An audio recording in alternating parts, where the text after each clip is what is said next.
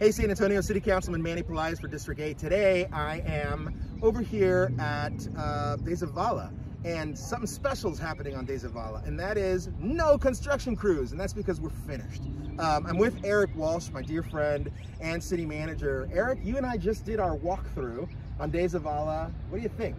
I'm excited. It's beautiful. It's uh, it's a lot different than it was uh, 35 years ago when I used to drive this road. A, a small two-lane farm-to-market road, but but today, beautiful median, wide sidewalks, bike lanes. Uh, proud of Public Works, did a great job of managing the project and getting it done. Yeah, and re remember folks, this is a bond project, right? So we went to the public and said, what do you want to see? And the public came back and said, we really would like to see some improvements on De Zavala because it, it became a headache for all of us on, on District 8. Um, and the public resoundingly approved the project. And then what we do is we hand it off to our public works guys, and they did a pretty fantastic job. I um, I almost uh, am thinking of canceling the rest of my day and going and getting my bike because this features bike lanes for the yeah. first time ever on De Zavala and sidewalks. And I, I, wanted to ask you, when you were a kid, right? And uh, you know, did you ever get to see kids going to Clark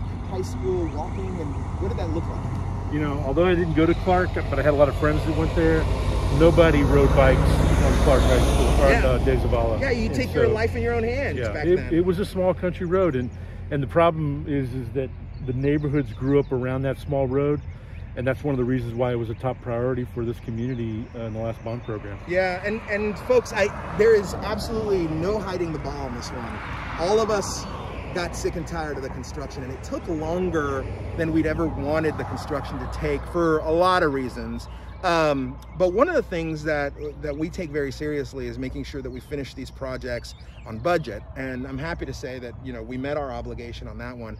But Erik, when when these projects take extra time to build because of weather or because of mistakes that the contractor made or because of shortage of, of materials, what do you guys do as a policy to make sure that we learn from that, but also make sure that we've got stop gaps to keep it from happening? Yeah, part of that is making sure that we're contracting with the with contractors that can perform the work.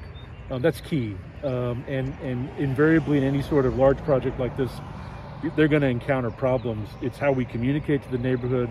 It's how we manage through with the contractor, and then if if need be, bring in somebody else to help do that work. There you go, folks. I brought your city manager to do a final walkthrough. I'm happy with the road. I think you're happy with the road.